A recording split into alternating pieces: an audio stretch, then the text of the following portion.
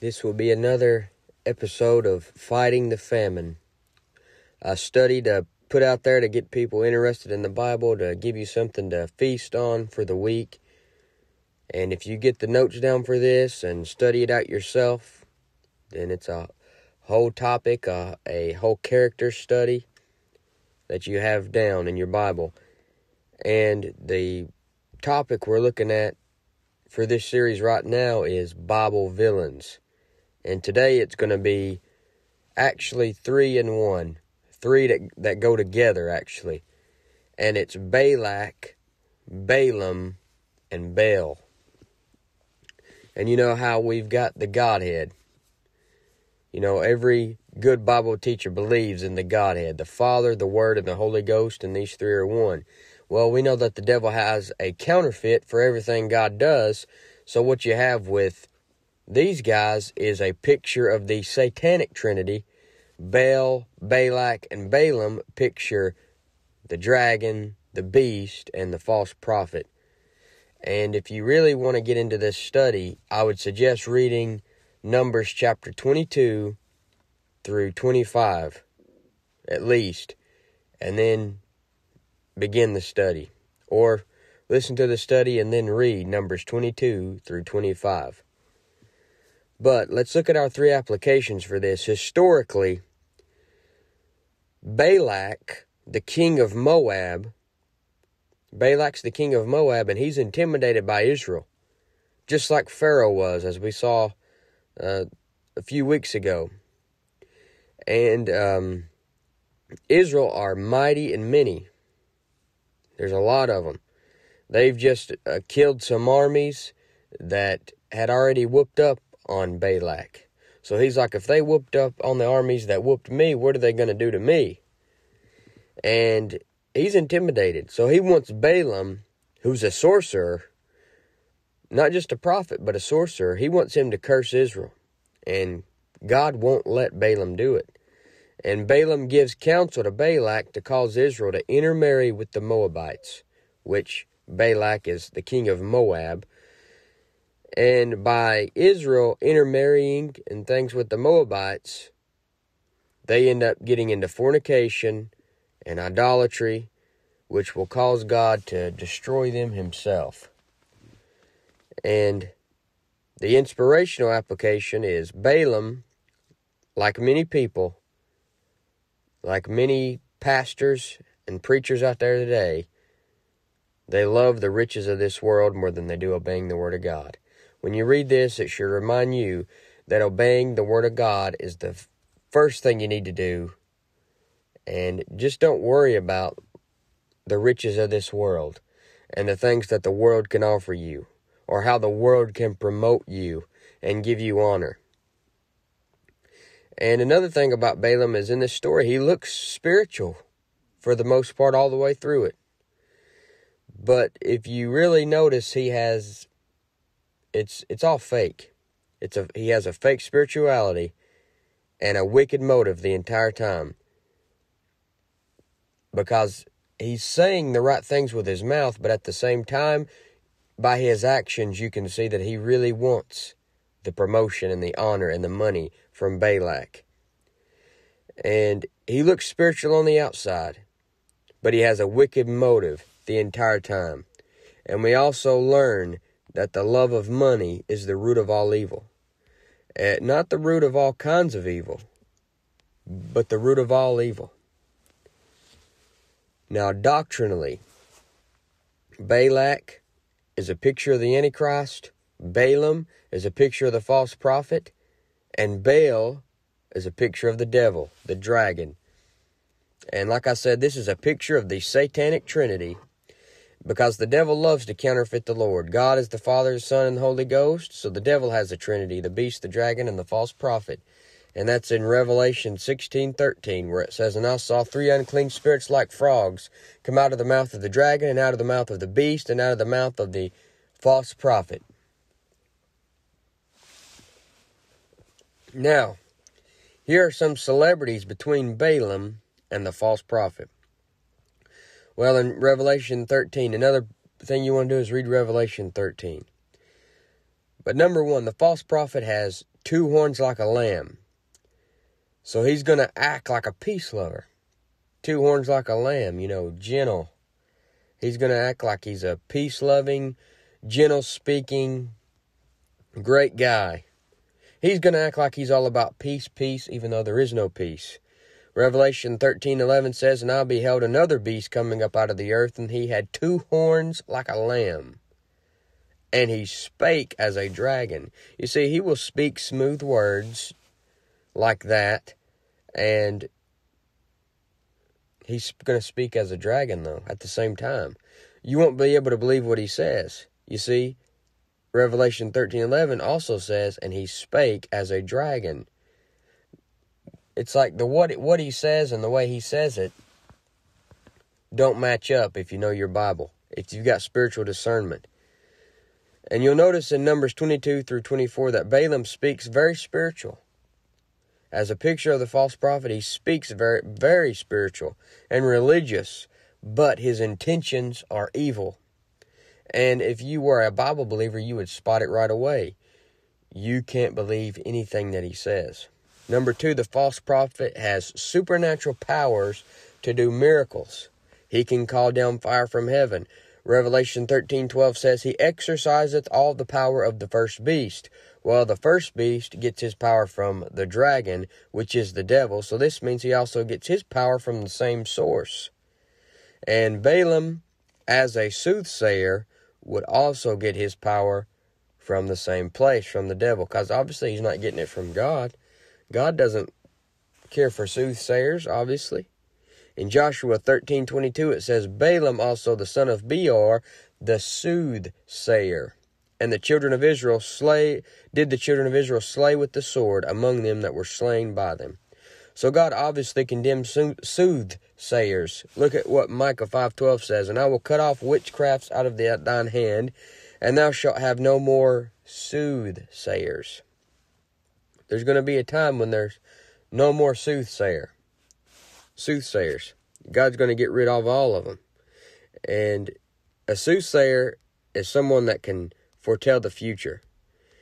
And Balaam was obviously very known for this, had a very good a very good reputation among people because Balak, the king of Moab, was seeking him out specifically for him to curse Israel.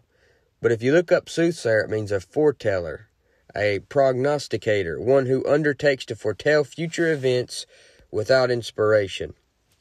That's the definition for it, and obviously God's not for that because only God can tell the future. And unless God told you the future, then you don't know it. The only way God's telling me and you the future today is through the Holy Bible, the King James Version, in English. Uh, and if you get it any other way, you know, then you're a false prophet because he's not telling you future events outside of the Bible. The next thing, the false prophet and Balaam are both slain by the sword. In Joshua 13:22 it said, "Did the children of Israel slay with the sword," referring to Balaam.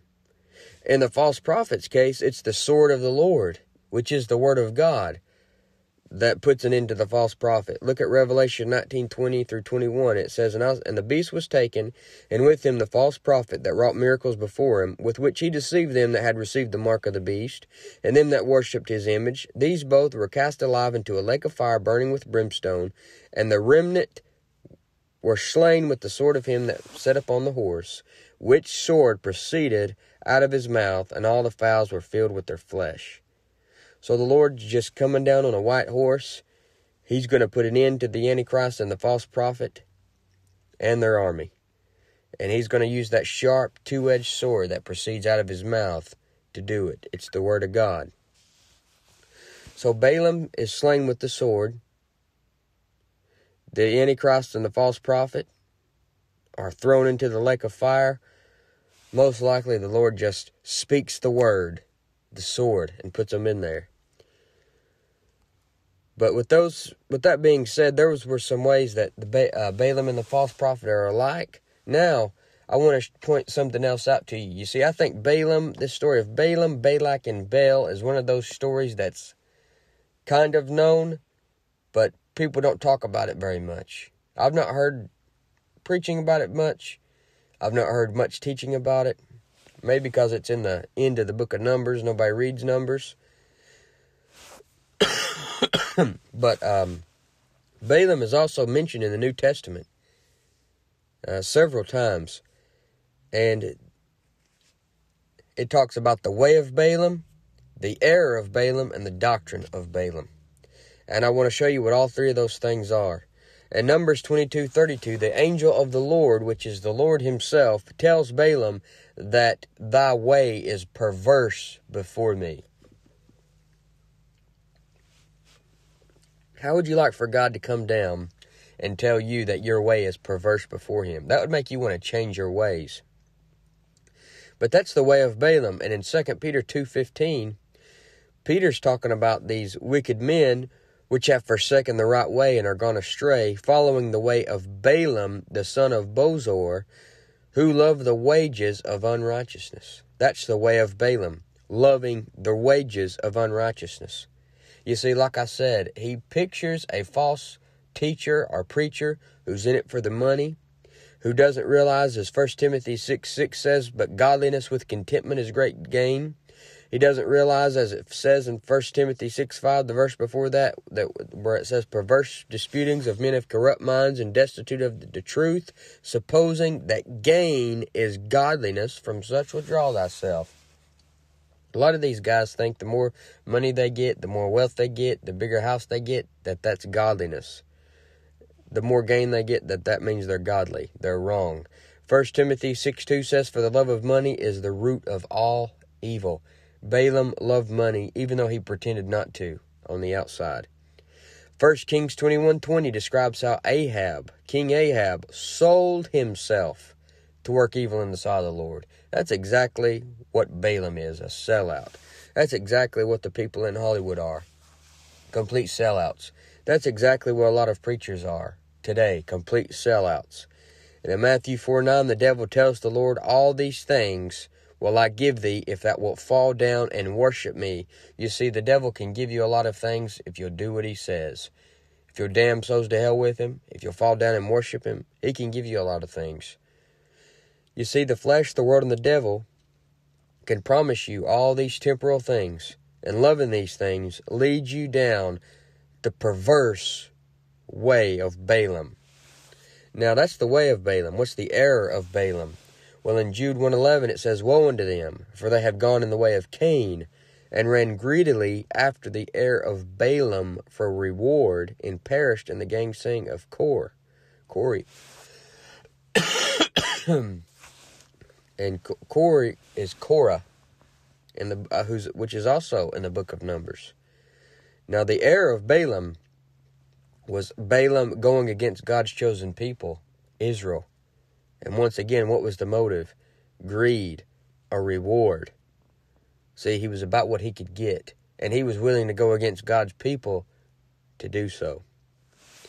The next one is the doctrine of Balaam. And the doctrine of Balaam is something that's going to be heavy in the tribulation. Because in Revelation 2:14, it says, But I have a few things against thee, the Lord says, because thou hast there them that hold the doctrine of Balaam, who taught Balak to cast a stumbling block before the children of Israel, to eat things sacrificed unto idols, and to commit fornication.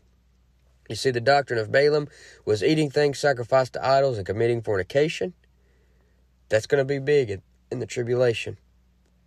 Balaam taught Balak that if he could get Israel to get involved with these Moabite women that they would end up sacrificing to idols and commit fornication.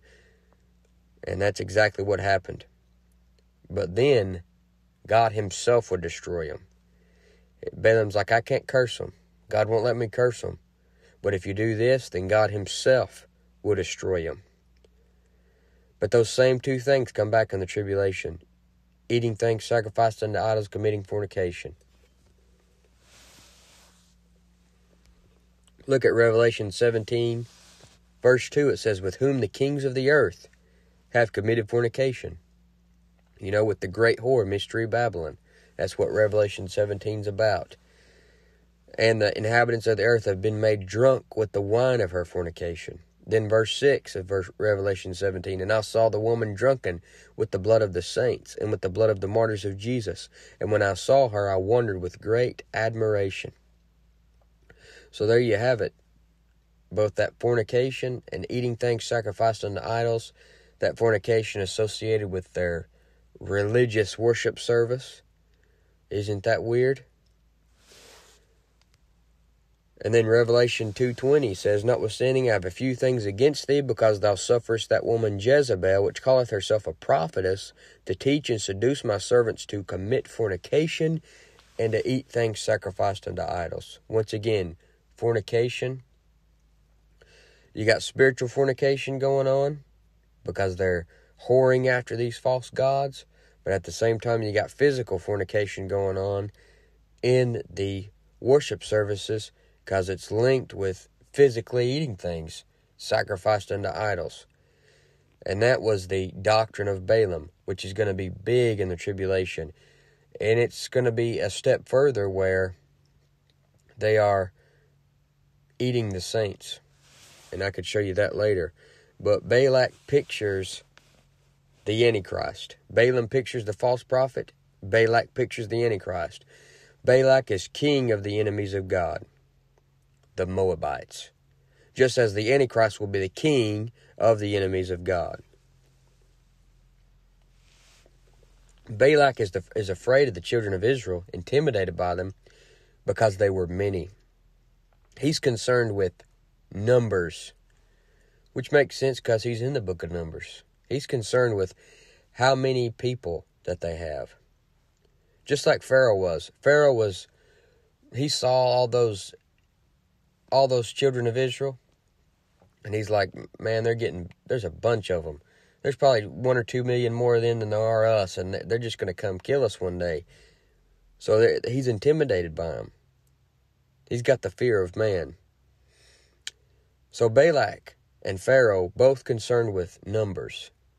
How many people there were. How many people did this army have?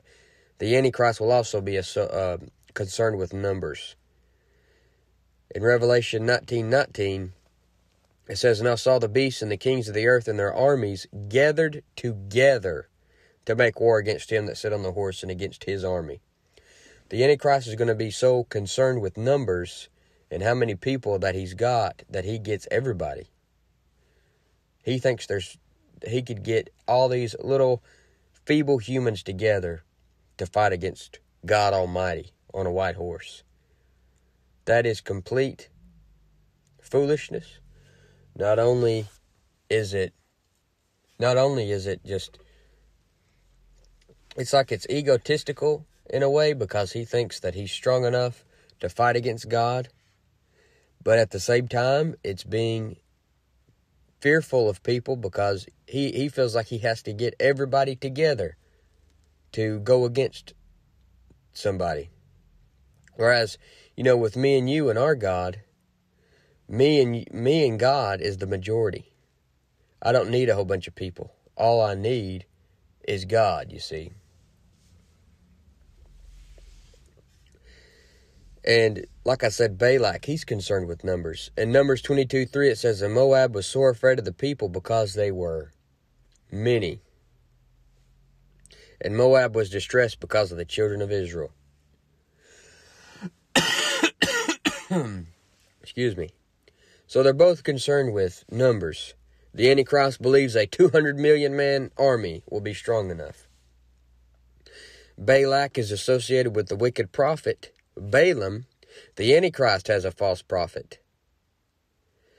And in Numbers 22 5, Balak is going to send out messengers to recruit Balaam. Balak has a hatred for Israel. And his request is for Balaam to curse Israel in Numbers 22 6. The devil and Antichrist also hate Israel. And in Revelation 12 17, the dragon is said to make war with Israel. But uh, Balak sends out the messengers in Numbers 22 6 through 7. Let's read there. It says, Come now, therefore, I pray thee, curse me this people for they are too mighty for me. Peradventure I, I, peradventure I shall prevail, that we may smite them, and that I may drive them out of the land. For I wot not, I wot that he whom thou blessed is blessed, and he whom thou cursest is cursed. That's what he's telling the messengers to tell Balaam. And it says, And the elders of Moab and the elders of Midian departed with the rewards of divination in their hand, and they came unto Balaam and spake unto him the words of Balak. So Balaam had a pride problem.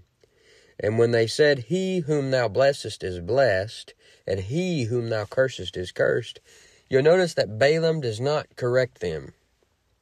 He doesn't say, oh, no, only God has that power. You know, he lets them believe that. And if he had any sense, he would have said it, no, it's the Lord that does that. But one of the ways that we show our pride is by not correcting people who flatter you. That's something you need to work on. When somebody flatters you, say, that's not true, or say, it's the Lord doing it. It's the Lord that helped me do that. Don't just let people think that you're you're good. And see, a lot of times they flatter you, they're just trying to flatter you. They don't even believe it. But, but deep down, you don't correct them because you agree with them. You think that you are all that, but you're not. Balaam thought he was all that, but he's not. But they also came to Balaam with the rewards of divination. They came with money. Balaam knew he couldn't curse Israel, but he didn't want to lose sight of that money. He didn't want to lose sight of that rewards of divination. So he says, You know, lodge here with me this night. Come on in. Pull out the sofa. Stay a while. Take off your shoes. Stay a while. And in Numbers 22 9 through 14, God speaks to Balaam and tells him that he can't curse Israel because they've been blessed by me.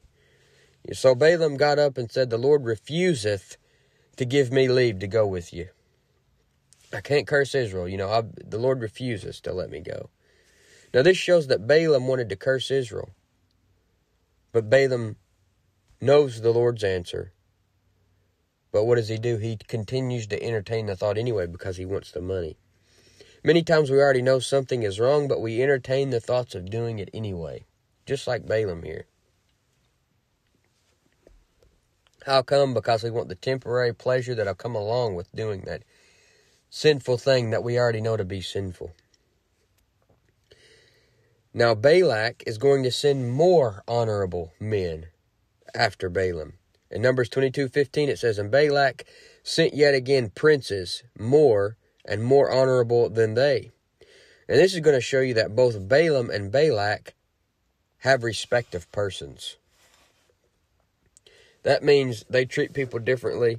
They say, they think some people are better than other people. And you're not supposed to do that. But they, they, they have respect of persons towards rich men, just like the Antichrist and the false prophet are going to have respect of persons towards rich men. And you're going to notice in your Bible that a lot of times the rich man is spoken of negatively and the poor man is spoken of in a positive light. Now, today, in the age we're in, you can't look at somebody and, and judge his spirituality or salvation based on how much money he's got. But there's coming a day when you will be able to. Because in the tribulation, you have to take the mark of the beast and worship the Antichrist to be rich.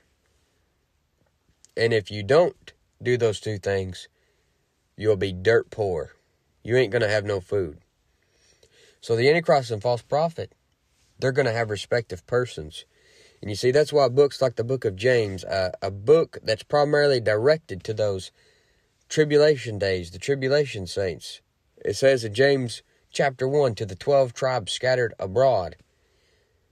It talks good about the poor people and bad about the rich people. And it talks about this respect of persons.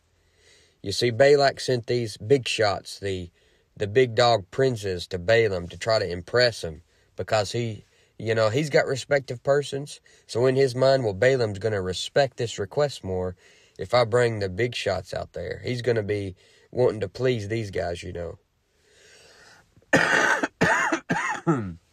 but in James 2 1 through 6, I want to read you these verses.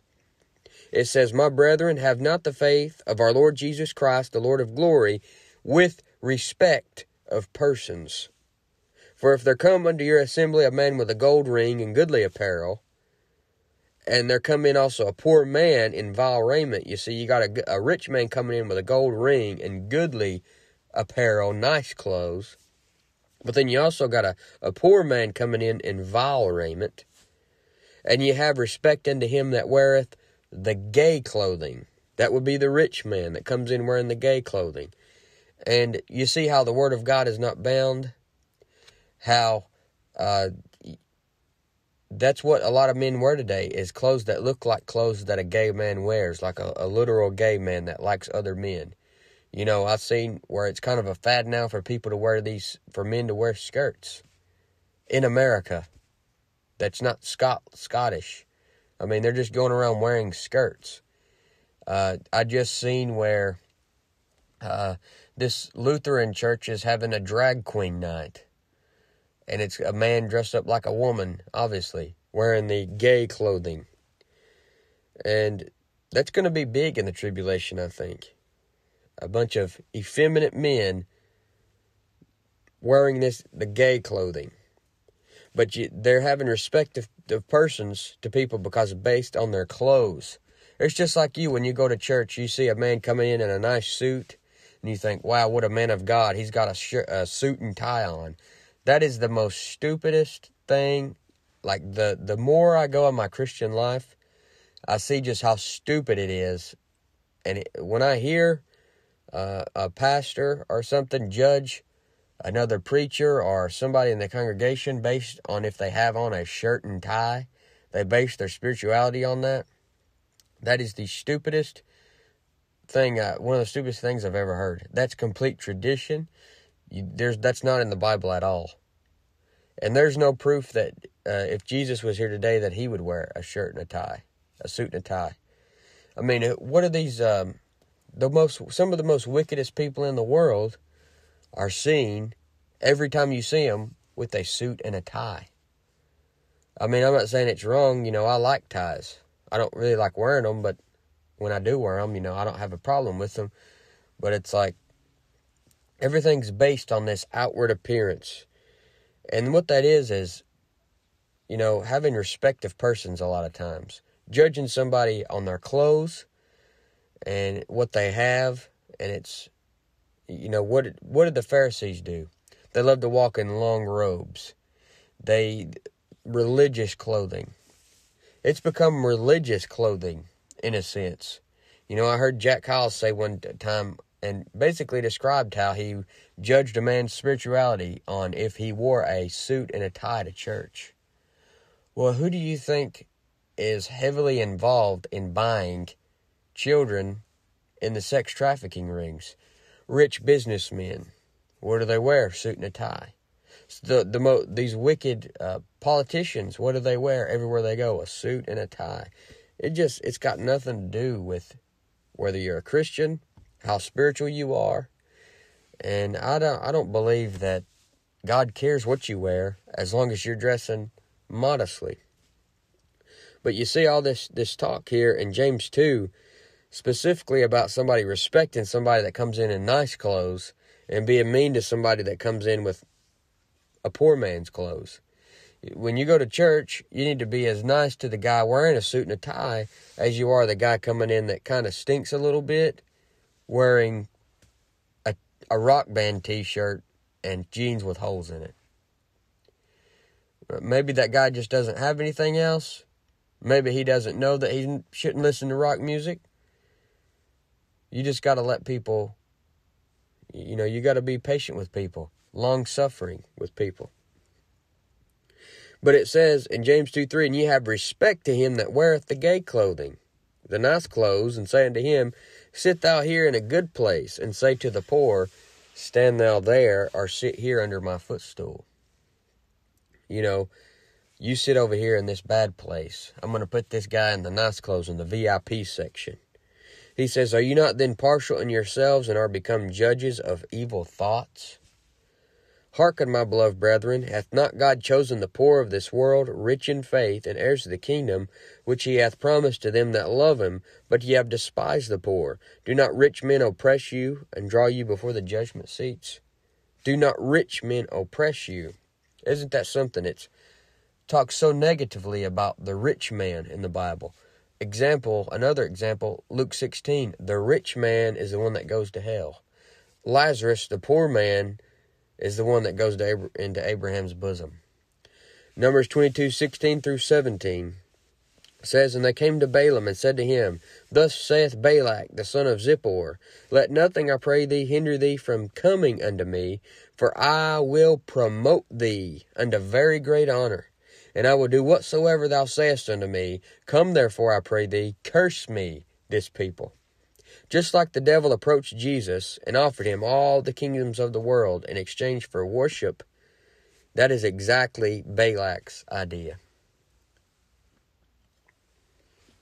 And Balaam answered and said unto the servants of Balak, If Balak would give me his house full of silver and gold, I cannot go beyond the word of the Lord my God to do less or more.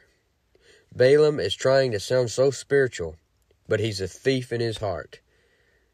But notice, Balak's house is full of silver and gold. If you've read the book of Revelation, Revelation 9:20 and 18:12 showed you that the idols are silver and gold during the reign of the Antichrist. So there's a number another similarity. And another type of Antichrist in the Bible named Nebuchadnezzar has a golden image that he wants people to worship in Daniel chapter 3. Uh, men today have idols of silver and gold. Look at the back of the iPhone. Take the case off. Most times, what is it? Silver or gold. You know, there's nothing new under the sun. Balaam wants them to tarry all night, and he leaves with them in the morning. While Balaam claims to not want to go against the Lord, he has those material items of this world on his heart. He has the riches of this world on his heart. But when Balaam leaves the next day, uh, Balaam's ass sees the angel of God standing and knocks Balaam off. You know the story. The ass is sees the angel of the Lord standing in the way. He starts freaking out. Balaam gets mad, hits the ass, and the Lord stands in the way of Balak and Balaam destroying Israel. Here's your here's your picture. The angel of the Lord, which is the Lord Himself, He stands. He's there standing in the way of Balak and Balaam, their plan to destroy Israel. As He stands in the way of the Antichrist destroying Israel. You see, it's the Lord that gets involved both times. It says in Numbers 22 22, and God's anger was kindled because he went, because Balaam went. And the angel of the Lord stood in the way for an adversary against him. Now he was riding upon his ass, and his two servants were with him. And the ass saw the angel of the Lord standing in the way, and his sword drawn in his hand. And the ass turned aside out of the way, and went to the field, and Balaam smote the ass to turn her into the way. So you got the Lord there with the sword drawn in his hand, just like he's coming back at the second coming. And the angel of the Lord is the Lord. Don't make a mistake about it. And he'll be standing in the way of the Antichrist and his men who are trying to destroy Israel. And he's going to have a sword to smite them. Here the angel of the Lord stands in the way of Balaam, who's on his way to consult with those who want to destroy Israel, who have been blessed. And in Numbers 22 24, but the angel of the Lord stood in a path of the vineyards, a wall being on this side and a wall on that side. And then you got the Lord standing in front of you. So there won't be a way to escape. There was no way for Balaam to escape. There's going to be no way for, for anybody on this earth to escape the coming of the Lord. And when the ass saw the angel of the Lord, she thrust herself into the wall and crushed Balaam's foot against the wall.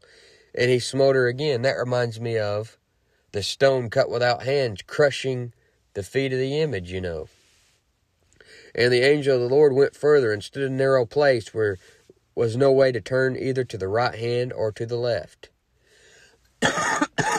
no escape. And when the ass saw the angel of the Lord, she fell down under Balaam. And Balaam's anger was kindled, and he smote the ass with a staff. And the Lord opened the mouth of the ass, and she said unto Balaam, What have I done unto thee, that thou hast smitten me these three times? Isn't the Bible an amazing book? We are in the book of Numbers. This is a book a lot of people won't read because they think it's boring, but what is the plot of just about every kids movie on the planet that they love? Talking animals. And that's what's going on here. You got a talking animal. Something else, Balaam is associated with a thing that doesn't normally speak the ass. The false prophet in Revelation is associated with something that wouldn't normally speak. The false prophet actually causes the image of the beast to speak. In Revelation 13:15 it says, "And he had power to give life unto the image of the beast, that the image of the beast should both speak and cause that as many as would not worship the image of the beast should be killed." Another plot of kids movies is right there. Life given to an inanimate object. And that's what you see in Pinocchio. You know, life given to a boy that's not a real boy. You see that in Beauty and the Beast. You see it in the little toaster, all these cartoons. Life given to an inanimate object. You see talking animals. Because there's no new, no new thing under the sun. Hollywood can't get around the Bible. And Balaam said unto the ass, Because thou hast mocked me, I would there were a sword in my hand, for now I would kill thee. The crazy thing is, Balaam doesn't seem shocked or surprised or astonished or afraid that the ass is talking. Uh, Balaam, being a sorcerer, has probably seen all kinds of things like this happen before, maybe even caused it to happen himself with the help of the devil. But the moral of the story is if God can use this jackass to knock some sense into Balaam, he can use a jackass like you too. I mean, you don't have to be some great one. I mean, you can be your jackass self and knock some sense into somebody using the word of the Lord. It says in Job 11:12, "For vain men would be wise, though man be born like a wild ass's colt." And that's exactly what you are. You're at best a glorified donkey eh, when it comes to your flesh. Now, when you're your inner man, it's as holy as it can get. But the outside, you're nothing but a donkey. And notice that that, that, that ass fell out from under Balaam. And if that represents the people, you can see in Revelation who's giving the Antichrist and the false prophet a lot of their power is the people gathering together behind him. You see, they're gathering together behind him, they're gathering with the devil. And the if, if they had that knocked out from under them, they're going to lose a lot of their power. You see, if we if the Bible believers could gather together on the Lord's side, imagine what we could get done. The Lord could use us to get done. And the ass said unto Balaam, Am I not thine ass, upon which thou hast ridden ever since I was thine unto this day? Was I ever wont to do so unto thee? And he said, Nay. Then the Lord opened the eyes of Balaam, and he saw the angel of the Lord standing in the way, and his sword drawn in his hand. And he bowed down his head and fell flat on his face. You see, the Lord had to open the eyes of Balaam. And that's exactly what's going to happen at the second coming. It says in Revelation, Behold, every eye shall see him. The next thing, the Antichrist and false prophet will both one day fall down before Jesus Christ just like Balaam falls down flat on his face right here. Numbers 22, 32 through 34 says, And the angel of the Lord said unto him, Wherefore hast thou smitten thine ass these three times? Behold, I went out to withstand thee, because thy way is perverse before me. And the ass saw me, and turned from me these three times. Unless she had turned from me, surely now also I had slain thee, and saved her alive. And Balaam said unto the angel of the Lord, I have sinned, for I knew not that thou stoodest in the way against me. Now therefore, if it displease thee, I will get me back again. So the Lord tells Balaam he can go with the men, but only speak the words of the Lord. But that's not what he does. And then in verse 41 in Numbers 22, you have that satanic trinity where it says, And it came to pass on the morrow that Balak took Balaam and brought him up into the high places of Baal, that thence he might see the utmost part of the people. Notice that Balak will keep taking Balaam to different places to persuade him. Isn't that similar to how the devil did with Jesus in Matthew chapter 4 during the temptation? you'll notice that he takes him up to the high places. Balak takes Balaam up to the high places. The devil takes Jesus up to the pinnacle of the temple. He takes him up to an exceeding high mountain in Matthew 4 5 through 8. You see, the things that go on in the high places of Baal is wicked stuff.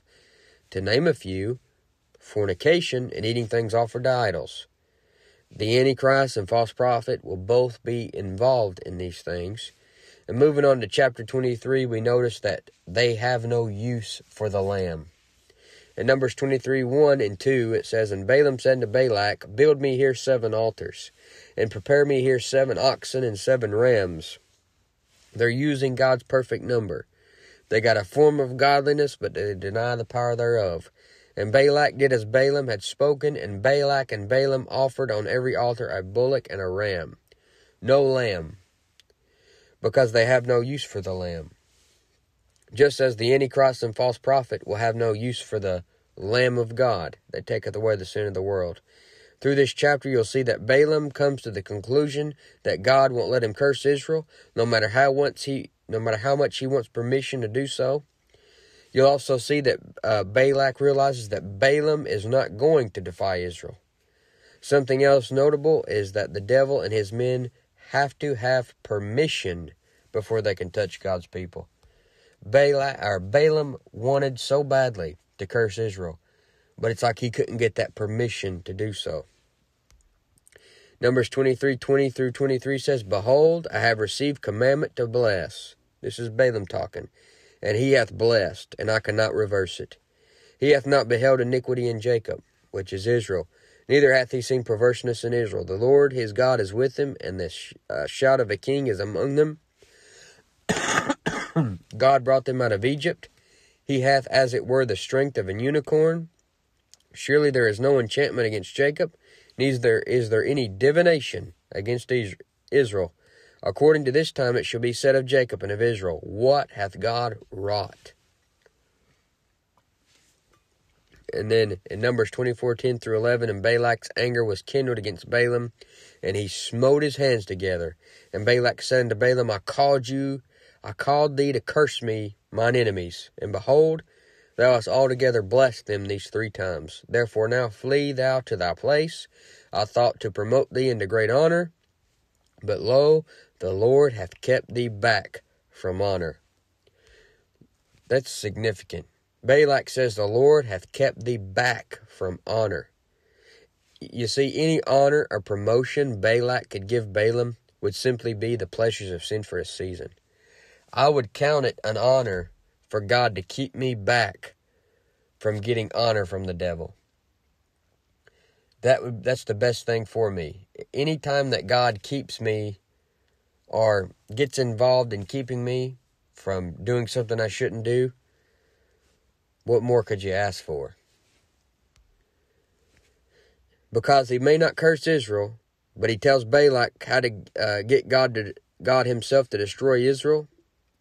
That is the the error of Balaam. That's the or that's the doctrine of Balaam. Or no, that's the error of Balaam. And he's even though he's got the answer, he is he's doing it anyway. He's he's going against God anyway. He knows that God's going to bless Israel. That wants to bless Israel. But what does he do? To shack up with Balak and those people? He he consults with him, he tells them a way to get God to destroy them himself. He, he tells them that if he can cause them to fornicate and get into idolatry with the Moabites, that God will destroy them himself. And in Numbers 25 1 through 2, it says, And Israel abode in Shittim, and the people began to commit whoredom with the daughters of Moab. This is the outcome of the teaching of Balaam. Israel abode in Shittim, and the people began to commit whoredom with the daughters of Moab. Balak's king of Moab. He's getting them to intermingle with his people. And they called the people unto the sacrifice of their gods, and the people did eat and bow down to their gods. Fornication and sacrificing to idols there. This is exactly what will go on in the tribulation. And in Numbers 31:16, this is where you have it, where it's it's said that this is the counsel of Balaam. It says, Behold, these caused the children of Israel through the counsel of Balaam to commit trespass against the Lord in the matter of Peor, and there was a great plague among the congregation of the Lord. For this reason, here, Balaam is like a worldly preacher who claims that he speaks the word of the Lord, but really his mind is on his own wallet or pocketbook, if if you're Joyce Meyer. Or even some of these men preachers may carry purses these days. But the counsel of Balaam was destructive. It says in Nahum 111, talking about the Antichrist, there is one come out of thee that imagineth evil against the Lord, a wicked counselor. This referring to the Antichrist, he will also counsel men to go directly against God, just as Balaam did, just as Balak wanted to do. But these are some of the most wicked villains in the Bible. And the reason these villains are in here, you always got a villain. The reason they're in here is because God uses these wicked men to show you his wrath and his power and his judgment. He doesn't make them be wicked, he gives them the choice. But the moment they choose to go against him, he will use them as an example. He will use them to show his wrath and make his power known. But this has been another episode of Fighting the Famines, Bible Villains, Balak, Balaam, and Baal.